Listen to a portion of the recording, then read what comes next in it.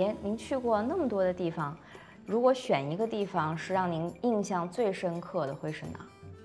我们现在跟过去的人有一个不同，就是我们现在去的所有的地方都事先在图片上看见过，所以它就很难有一个让你就特震撼。嗯你比如你去阿尔卑斯山啊，你去科罗拉多大峡谷啊，你去哪儿？就比如我当年去新疆，你要现在仔细想，可能是当年我在新疆戈壁滩上的时候，嗯那个感受还是比较强烈。那时候第一我年轻二十多岁，那时候呢，呃，受到的外界的这种现代的。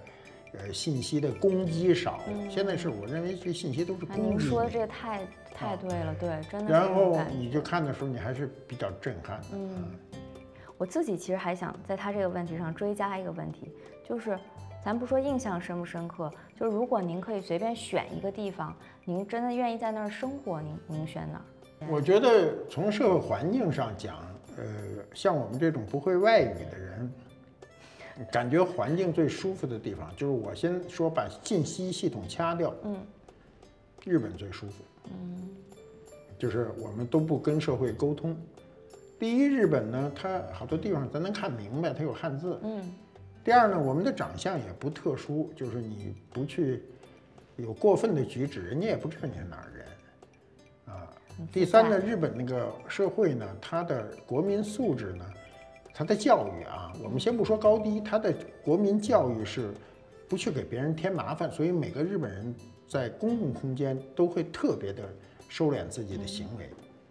大家都讲规矩。对，如果你在日本去旅游啊，或者待一段时间，你突然觉得在某一个场合下不舒服了，有社会压力，有环境压力，那你周圈全是中国人，那肯定不是日本人。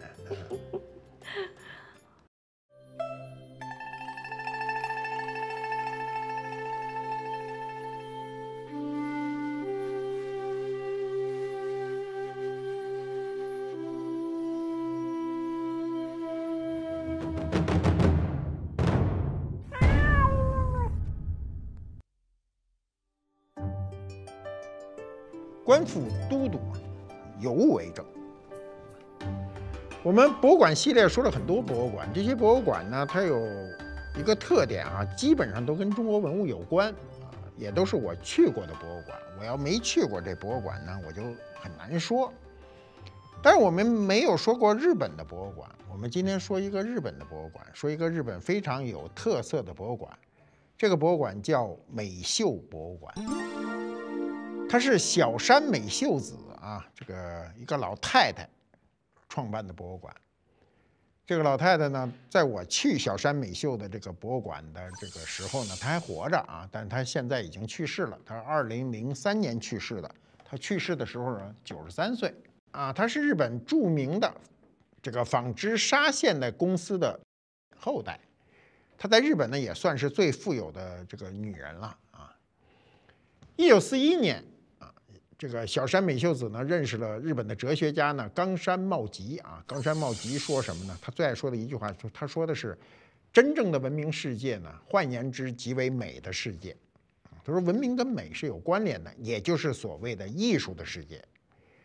那么这句话呢，对小山美秀子呢影响至深，所以他就创立了一个叫神慈秀明会啊。神慈秀明会它带有一些。宗教色彩啊，日本有很多这样准宗教的这种组织，这种组织呢，都根据自己对宗教的理解，或者说对这个世界的理解呢，就团结了很多人。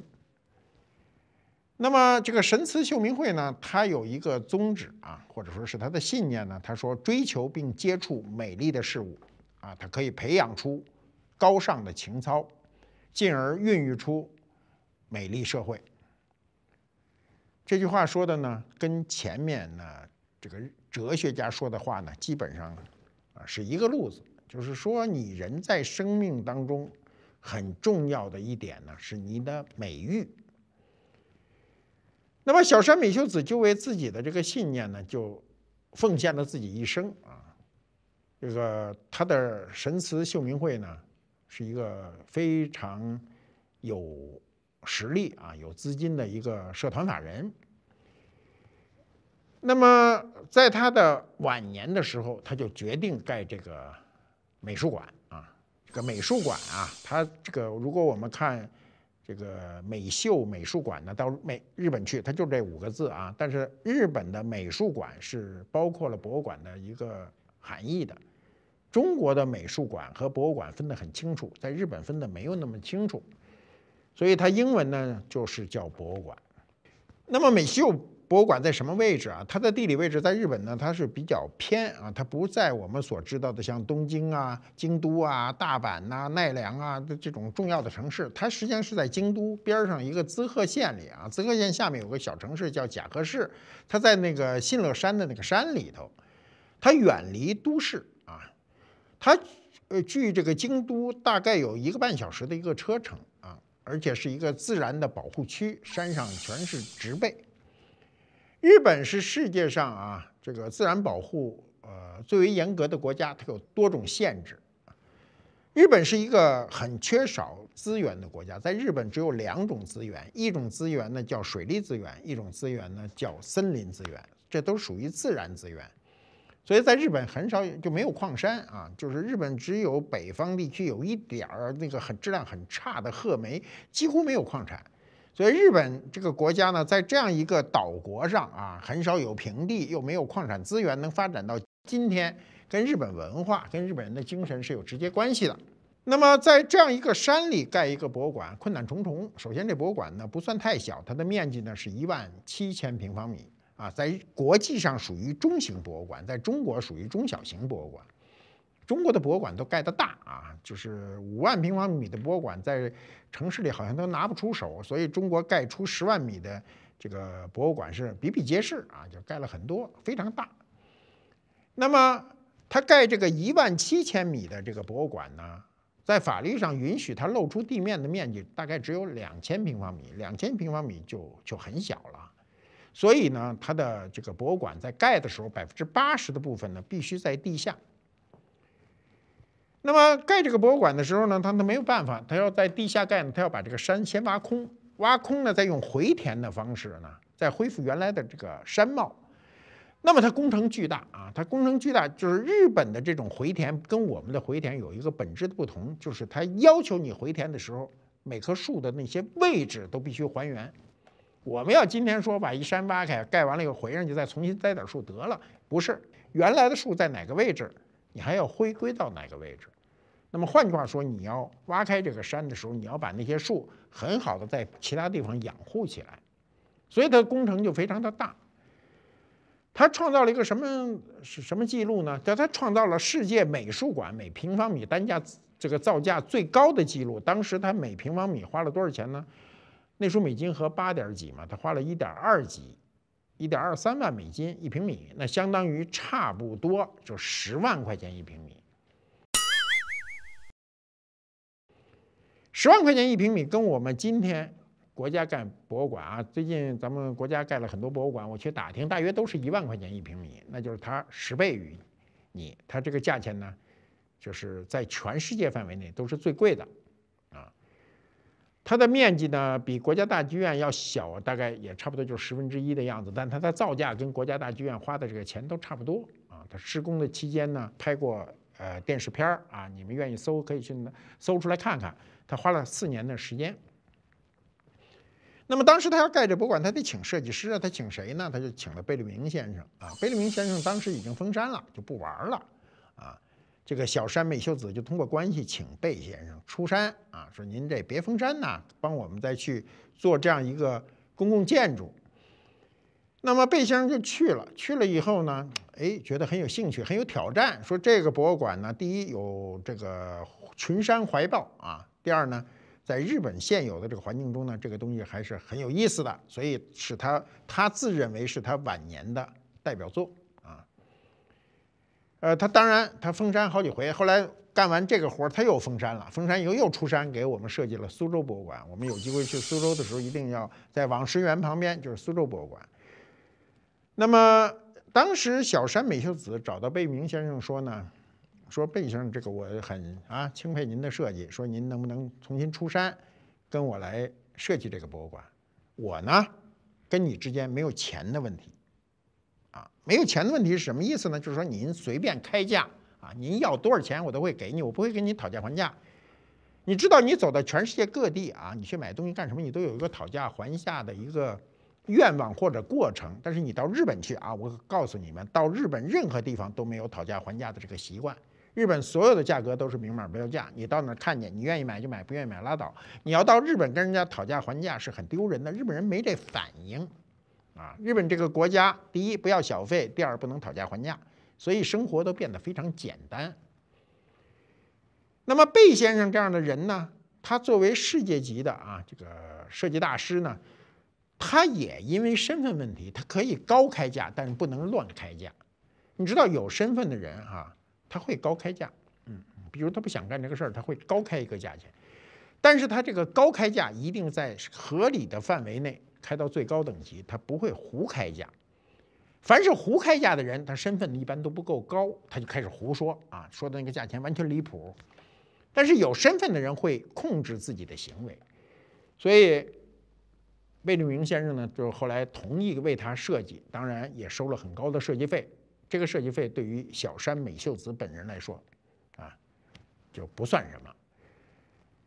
那么由于这个地方是在深山当中呢，那贝先生就他是华裔的这个美国人嘛，他就拿出了中国的这种啊设计思维，他就把这个桃花源记呢，就是作为了他的设计的主导思想理念，啊，所以他就把这个桃花源记这个。这个文章调出来啊啊，把这种感觉，比如忽逢桃花林，夹岸数百步啊，呃，中无杂树，芳草鲜美等等，落英缤纷等等这些意象，都把它调动出来，所以就开始设计这个呃美秀博物馆。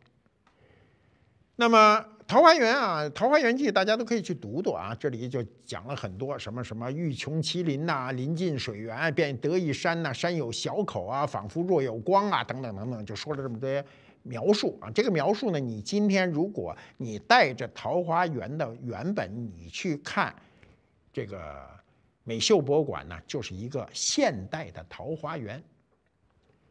那么我们。今天要如果去啊，你到停车场一下车，你肯定是走一个樱花路，两边全是樱花，没有杂树啊。那么这个樱花路呢很有意思，你如果有时间有兴趣啊，你又特讲究，那我就告诉你，你在樱花盛开的时候去，那那是一绝景。但是樱花开放的时间就就那么个半个月的时间，所以你不在那个时间去，你看不到这个绝景。但是那个地方有照片，你可以看到。樱花路走到头，迅速就接上了它一个长大约二百米的一个隧道。二百米的隧道啊，如果是直的吧，你这从这儿看进去，直接就看穿了，一览无余，所以很没有意思。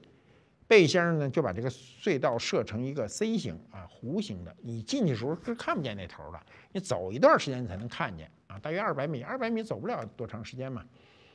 那么这个隧道它做的极为干净，什么都没有，没有灯啊，这个。就什么都没有，光光的，是一个，我看就是不锈钢的啊，银色的这样一个弧形的，跟跟那个窑洞似的这样一个拱形的，你走进去。如果你赶上樱花盛开的时候，你走到一半的时候，你回过头来一看，这个樱花的这种粉红色，把整个这个银色的啊不锈钢的这个隧道映成粉色，极美啊！你只有。那个时候去到看到你才能感受到这个震撼。那么穿过这个隧道以后呢，立刻就是一个大概一百二十米长的一个钢索吊桥，啊，它是由这个钢缆这个拉着啊，它在旁边的所有的植被啊植物都保护了，因为它下面呢不能使桥墩，一桥墩就难看了，钢索拉着，它是个悬的吊桥嘛，它不破坏桥面以下的。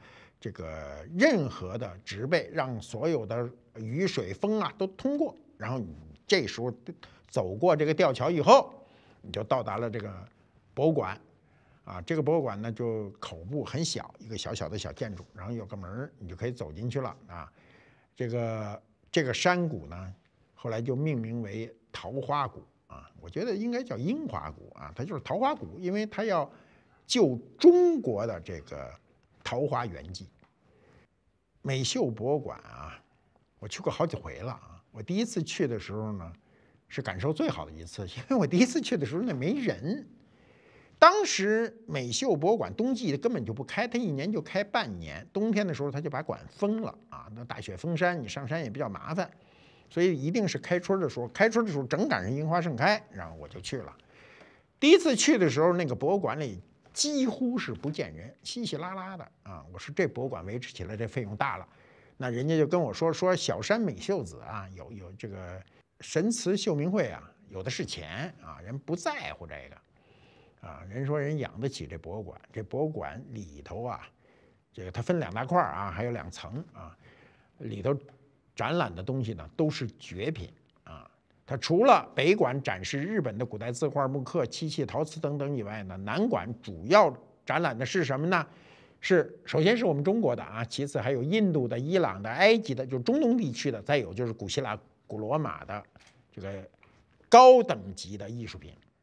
它的空间呢设计呢，跟你常见的博物馆不一样，它很多地方非常空灵，啊，就很大的空间就摆一件东西，嗯，所以对每一件东西都得充满了这个敬意啊。比如它有很多著名的藏品，我们先讲一个埃及的藏品，它是这个银的啊，鹰首人身神像，它属于埃及的这个第十九王朝的，距今有多少年呢？大概距今有。三千多年，它是公元前啊，这个第十九王朝呢，距今大概，呃，是公元前一千多年，现在有是大概三千多年。这件东西纯银打造的，你知道三千多年，咱们那时候大概就是比咱商代还这个，呃，比晚商还早点呢，大概这么大，四十多公分啊，它纯银打造的。你看那东西，你不能想象这东西是三千多年的啊。据说这原本是啊，这上面啊都是黄金的，盖满黄金，但是现在基本上脱落了，就露出银，非常漂亮。头发呢嵌青青金石啊，一青金一松石，这都是在中远古时期两千年以前的各国艺术品上最容易镶制的一种石头，因为这种石头的天生的颜色呢，既悦目又沉稳。那么这个鹰啊。这个眼睛啊，镶的就是水晶。你知道，我也有一个啊，战国时期的一个虎头，那个虎头镶的就是水晶，那眼睛就跟真的似的。你盯着它都多少看时间长了，你自个儿都发毛。那么它是一个人身和鹰头衔接的这个这个一个艺术品啊。我们知道古代埃及啊，就是个动物和人之间的结合很多，最典型的就是大家知道的狮身人面像，对吧？身子是狮子啊，脸是人的。这个呢是人的身体，但是鹰的头啊也衔接的很好。这鹰呢是这个埃及的这个这个荷鲁斯神啊，它是一个神。这个神呢，这个在埃及呢，你如果我刚从埃及回来嘛，如果你到埃及去参观游览，经常可以看到这种荷鲁斯神。那么在古埃及啊，这个古埃及人认为银呢比这个。黄金呢更高贵啊，因为银的这个颜色，它跟黄金一下比较起来，它比较收敛，黄金它比较夸张啊，所以都呃显得很金贵，而且很很很土豪啊。那它上面镶嵌的这个青金石呢，也是当时从这个中东地区、阿富汗地区进来的，就是我们原来讲过土耳其也讲土耳其的绿松石啊，这种蓝色啊，青金石是深深蓝色那个。松石是那种浅蓝色啊，都是蓝色。呃，那么这个荷鲁斯神呢，在世界各大这个重要的博物馆里这么完备，这么看着都像新的似的，这种太少见了。所以呢，小山美秀子她所采购的所有的艺术品都是最顶级的。那还有啊，刚才我们说的这是埃及的文化，再有就是犍陀罗啊，犍陀罗是跟这个就是巴基斯坦、古印度地区啊，犍陀罗它是受古希腊啊、古罗马，尤其受古希腊的影响，所以它那个雕像非常西化，那是最早的佛的造像。我们今天看到的，能够说多少还有点犍陀罗影子的，就是我们的北魏、北齐时期的石像。再往后到隋唐以后呢，就基本上把这个影子摆脱了。那么，他这尊犍陀罗的这个这个立像呢，是世界上最大的犍陀罗的这个立像之一啊，这个尺寸非常大，有多高呢？有两米五。两米五是这样啊，我们现在知道世界上最高的人也就是两米三几吧，打个篮球的两米二几就非常高了，他这两米五那就很大，所以你看到他的实物时候，你就会觉得很震撼。那么犍陀罗的最大的雕像啊，现在已知的最大的在哪呢？在巴基斯坦的白沙瓦博物馆里，它的高度呢是两米六四，那就比这个也就高个这么多，十几公分。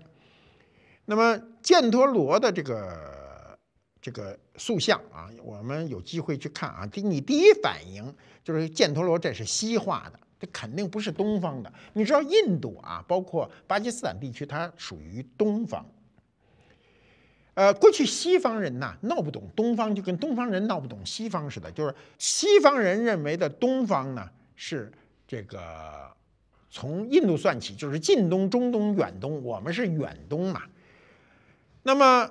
他分不清印度、中国、日本、朝鲜这些国家之间的差异性，所以一看就是东方人啊，就是那时候神秘的东方是就包括这么大一个区域，就跟我们中国人去看欧洲似的，我们一说就欧洲人，你有时候分不清英国人、法国人、德国人、意大利人、西班牙人，你都分不清，但是人欧洲人非常容易分清，一看那长相，这就不是我们这边的人，对吧？就跟我们有时候去看。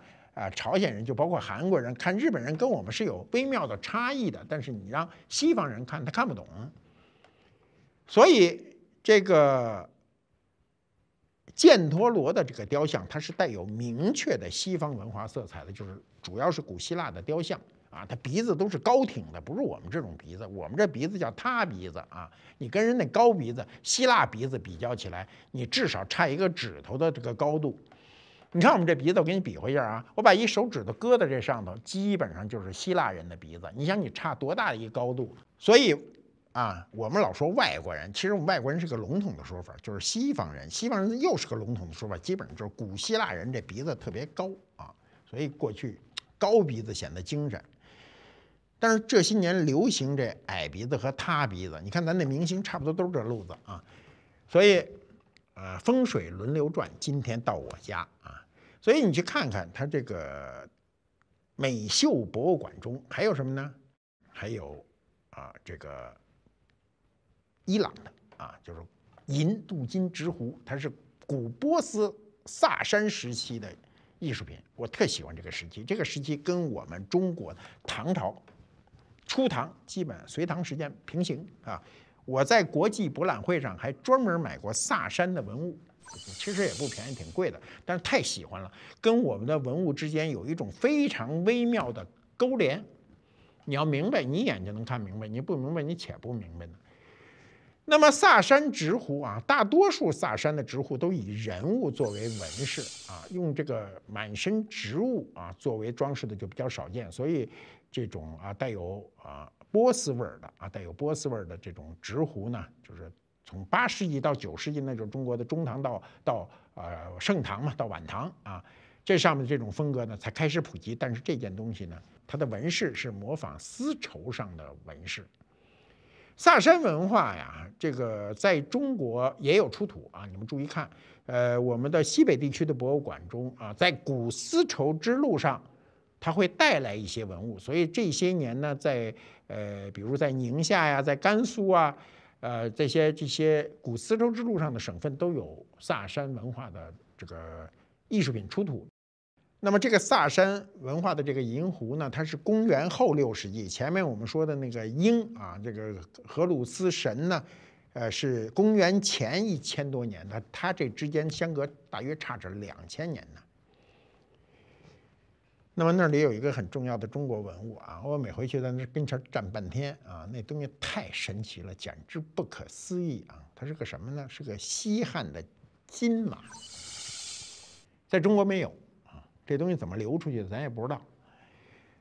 在中国有一个唯一的啊，跟它比较接近的一个大的是鎏金马，在陕西省博物院啊，这件是纯金的，是西汉时期的。这个马有多多大呢？比我们国内那个要小很多啊，体量上它只有这么大，它架不住它是纯金的呀。我也不知道它有多重，我我想象它得有个二十斤，因为黄金很重嘛，比重很大，它是就是纯金的，这么大，二三十多公分，二十多公分高啊。我们那个比较大，我们那是空心的，是鎏金的，那差哪儿？差得很远。那么这个纯金打造的马呢，做的非常的写实啊。你知道汉马是这样，你们注意看啊，秦汉时期的马的塑造大部分都是静态的，所以我们看秦始皇兵马俑的啊，比如你们看到铜车马，那四匹马都是静态的，没有做奔跑状。你看到秦始皇兵马俑的所有的等马等马大等人大的那个兵马俑前面那个马都是静态的，踏踏实实站在那儿的。对吧？汉代的马也是这样，它大部分都是静态的，动态的马呢是隋唐以后的事儿。隋唐的吧，你看唐三彩的马，没一个是老实的，全是做各种姿势摆 pose 的，是吧？你看，你这这个这是个规律，你慢慢就能看懂。这个马是这个纯金马，非常的静态，稳稳的站在那儿啊，四肢修长，前庭这个这个胸前特别饱满啊，臀部啊肌肉非常有力量，翘着。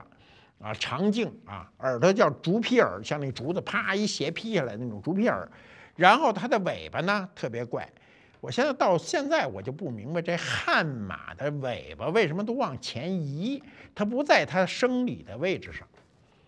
什么叫生理的位置上？就是它该长在哪儿就长在哪儿。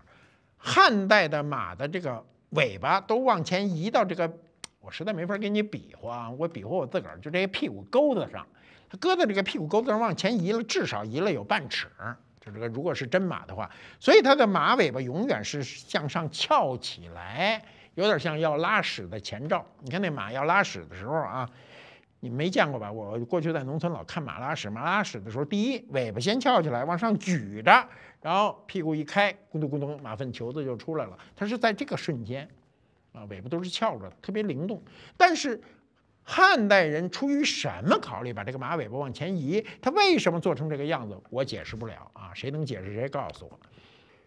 那么这小山美秀里头还有什么呢？我们就再举几个例子啊，比如他有一件东西，当时轰动这个是个新闻，轰动这个起码轰动中日两国吧。当时你说轰动世界有点夸张，它叫禅冠菩萨像。这件东西是小山美秀子重金从世界最知名的古董商人埃斯克纳金的手里买来的啊。这件东西呢，是一九七六年改革开放前夕呢，在山东出土的，在山东什么地方呢？山东的博兴县龙华寺遗址出土。出土的时候，它断成三节儿，然后当地人就把它收集啊。它断成三节儿，当时就分了啊。这个过去农村特爱分家，什么事儿分了。呃，因为那时候这东西没什么价值，你知道，呃，文物真正有价值呢，都是大概一九九五年以后啊，在这之前文物都很便宜，所以当时的这个那个文物干部啊，就就从用了很长的一段时间，据说用了三年的时间，分三次从三个村民家中把这东西都找着了，找找着了呢，就拼在一起，哎，完整菩萨像啊，这东西就收到了这个山东考古所。那么这事儿呢，就到了一九九四年。你看刚才我说九五年开始文物有价值嘛，一九九四年七月份的时候，这东西被偷了。谁偷的呢？不知道，今天也没破案，就没逮着啊。那么这东西偷了以后呢，究竟怎么流到国外，经过什么途径，什么一概不知。最终呢，它流到了英国的文物市场。啊，流到了英国文物市场以后呢，被这个埃斯肯纳基买了以后呢，就九五年的时候，一九九五年就卖给了日本的美秀博物馆。美秀博物馆花了多少钱呢？花了巨资，多少钱呢？根本谁都不知道。那么美秀根本不知道这东西是是赃物，他也不知道这东西是丢失的赃物，啊，当时就成为了他们馆的非常重要的一件文物。那么到了。一九九九年啊，到了一九九九年的年底呢，有两封信呢，就同时就揭示了这件事儿啊的迷踪。一封呢是著名的中国学者啊，文物学者素白先生，他写给了这个社科院的杨红先生一个信；另一封信是来自于米西奈斯的古代艺术基金会的主席啊，叫罗伯特先生的信件。他们在这个西方的很多人的帮助下呢。就是把这个事儿啊，就逐渐逐渐往一块儿捏合，因为这个东西丢失以后呢，保留了当时的报案记录和呃文物的影像资料啊，这一点非常重要。因为我们早期很多文物那时候拍照没那么容易啊，所以没有影像资料，只有文字资料。当你丢失了以后，你说不清楚。幸亏这个菩萨像呢是有影像资料，所以就通过这么多人的这个斡旋啊，中日双方经过了多次的回合的谈判，终于到了二零零一年呢，就达成了一个协议，签署了一个备忘录，确定啊这件东西呢在美秀博物馆成立十周年之际呢，将这尊这个稀世珍宝呢无偿的还给中国，还到山东去。他为什么要在十年之际呢？他当时达成的协议呢，是说在我这儿展览十年，十年以后我还给中国，啊，这个很有意思的一件事啊，这是个法律概念，就是小山美秀子，就美秀博物馆获得这件东西叫合法的善意获得。合法的善意获得，如果因为他不是盗窃者，而且他的所有的购买途径都是合法途径，就换句话说，这个文物已经经过多次的辗转，已经洗白了，啊，他严格说他没有任何问题。我们再往深了说一步，就是如果他不想还给我们，这个事儿就旷日持久，你很难让他就通过强制手段让他还给你。那么。这件东西呢，由于小山美秀子本人是这个啊是信佛教的，嗯，所以呢，他愿意把这件东西通过谈判还给中国。那么在签署这个文件以后呢，两年以后他还就去世了啊，他还就去世了。然后真正这个呃菩萨还到中国的时候，小山美秀子已经过世了。到了二零零七年啊。我就如愿以偿的按照协约啊，这件东西还给了中国山东省。到二零零八年的一月，这个禅观菩萨像入藏山东博物馆。这个我们还必须说一句啊，因为小山美秀子或者说美秀博物馆把这件这个他们合法善意获得的一个中国文物，尽管它有那么一段不堪的历史哈，他愿意无偿的还给中国，那么他。事先还签了一个一个赠还协议，这个协议中有这样一个条款，就是说这个禅观菩萨在此后啊，每五年的时间啊，还要到美秀博物馆去展览一次。这有点像什么呢？有点像那个遗失的儿童被别人养大，最后亲生父母找到了他，你回到亲生父母身边，因为他养大他也花了很多心血啊，所以这孩子可能隔很多年又要回去看他养大他的父母，跟这个道理差不多。所以呢，呃，尽管这一件国宝级的文物还回了我们的中国，现在入藏山东省博物馆，但是。这个每隔上五年，他就要回到日本的美秀博物馆展览一次。如果你赶上了这个时候，你就正好能看见他。那么小山美秀还买过什么呢？他当年买这件东西的时候，我是知道的。这东西当时我们特别的震惊啊！他买了一个什么呢？他买了一个错金银的啊伞艇。这个东西呢，大约是战国到西汉时期的。公元前二世纪啊，它高度有二十六公分，直径有四公分，就这么粗，这么高啊。它是干嘛用的呢？它是在当时的战车上啊，不是战车，就是那个车上中间搁那个伞盖的那个伞上面支撑的木架的中间一个金属的箍件这件东西是在车里是最显眼的一个位置，所以它做的极其精美。历史上我看过很多很精美。那么这种伞艇呢，达到这种精美程度的很少。当时这件东西呢，也是世界最知名的古董商埃斯可丹吉卖给他的。卖给他当时是多少钱呢？这我们知道的，这个钱呢是五百万美金。在他买的那个瞬间，创造了中国艺术品的世界纪录。这个世世界纪录是私下产生的，并不是公开产生的。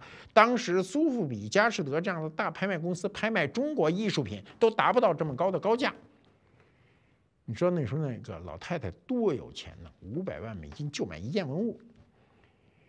那么这件文物为什么这么重要呢？是因为啊，我们到今天都有这个概念。比如一个人发迹了以后，一个简单的评判标准就是他是否买了好车。古代也是这样。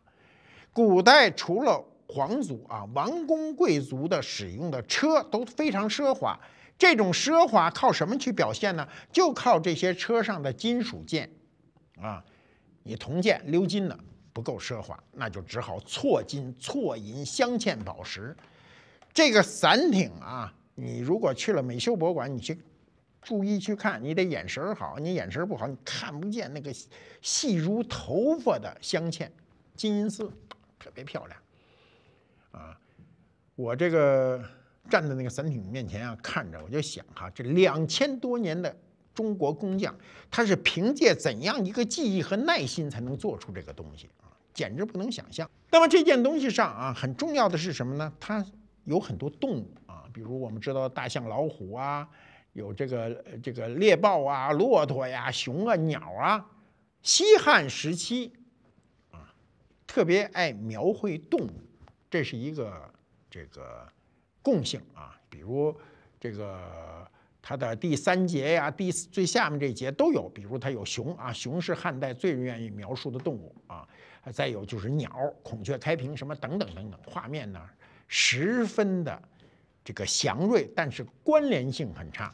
就是，你你不理解它为什么这个猎豹跟孔雀有啥关系，熊和骆驼有啥关系，都没关系，就是自由的一个动物的表达。汉代对动物啊是有精神追求的，它跟战国时期对动物的追求不一样。你看战国时期，它会有一些神兽，就咱说不清这动物是什么。但是到了汉代，大部分动物都是你能看得清清楚楚，这是虎，这是豹，这是熊，这是骆驼，这是鸟，这是孔雀，哎，很清晰。所以我们这个看文物的时候，为什么专家迅速的就能判定年代呢？是因为它有大量的信息告诉你这个时代的风貌。美秀博物馆啊，是我。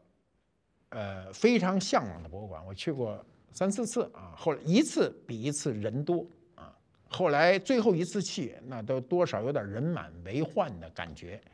世界各地的人都会专程到这个博物馆，当时给了我一个很深的呃印象和启发。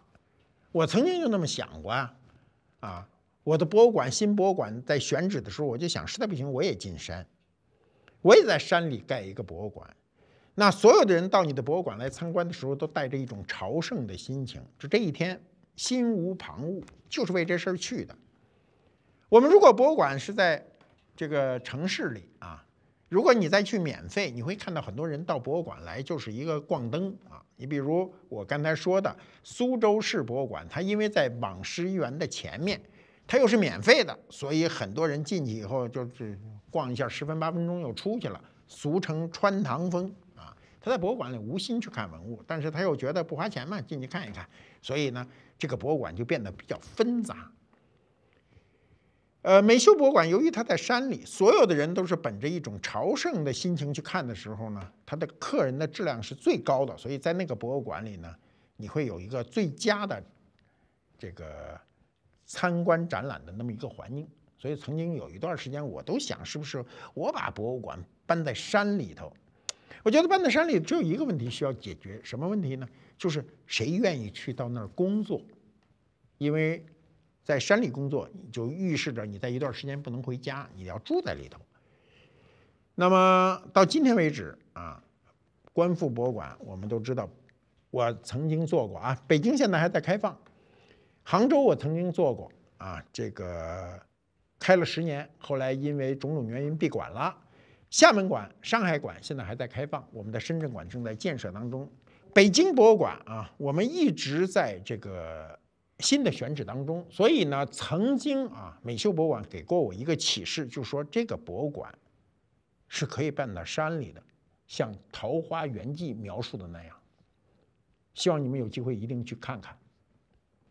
我们讲了日本一个非常有特色的啊美秀博物馆。呃，我们拿什么样的一个东西能够跟美秀博物馆的这种展品呢相匹配呢？我挑了这样一件东西，这件东西跟小山美秀子买的那个啊西汉的伞艇有一拼，我让你看一看，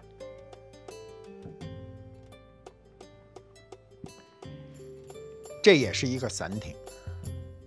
跟那个伞柄的尺度几近一样，包括它的粗细程度和大小。唯一不同的那件东西呢是错金银啊，这件东西呢，它的工艺今天从文字到手艺啊失传不清楚，俗称这种东西叫烫金。我们说过，中国汉代文物中最高等级的纯金啊，我们刚才讲了那个纯金马，再其次鎏金，再其次错金、错银啊，但这种金色是一种类似我们今天那个请柬上的那种烫出来的感觉，所以呢，俗称为烫金。烫金的东西只在西汉一个时期啊流行，前后都没有。这个工艺到今天我没有看到有文献资料破译它。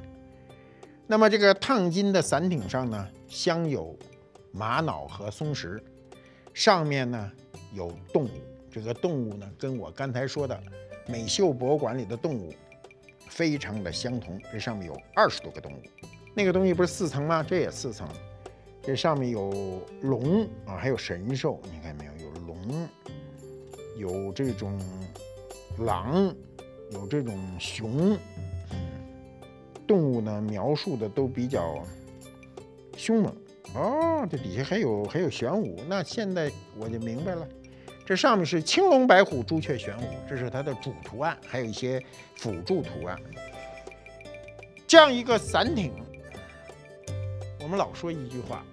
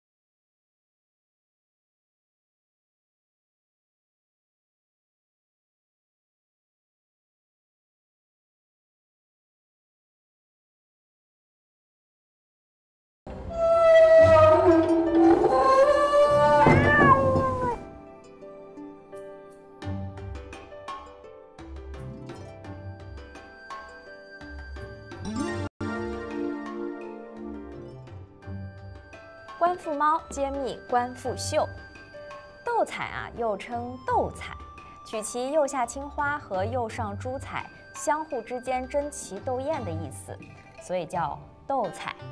那成化时期的斗彩呢，最受推崇，其中啊，尤其是这个鸡缸杯，广为后人所熟知。乾隆时期的文房四考里啊，就有写到：成窑以五彩为上。酒杯以鸡缸为最，上画牡丹，下画子母鸡，跃跃欲动。那成化时期的斗彩鸡缸杯呢，是色彩绚丽，稀少名贵，所以后世啊就不断的仿制。尤其是这个乾隆皇帝，他对鸡缸杯啊是非常的喜爱推崇。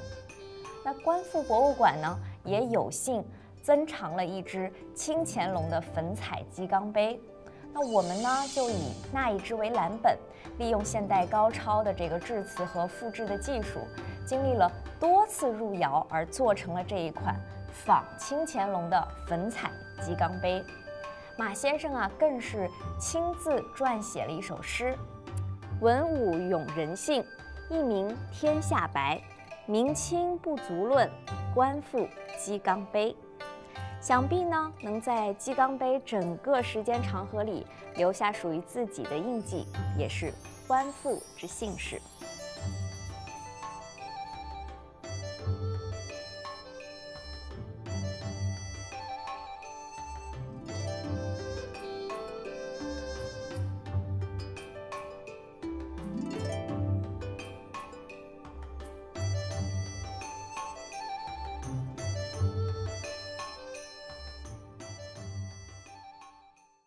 因为自己做的不完美，会焦虑吗？是应该尊重父母的意愿，还是选择自己的梦想？不知道未来会是过什么样的生活，自己可能永远都找不到你想要停留的那个地方。我给他的第一本书，它能让你装龙像龙，装虎像虎，可以让你醍醐灌顶。那你凭什么不幸福呢？这世界很酷。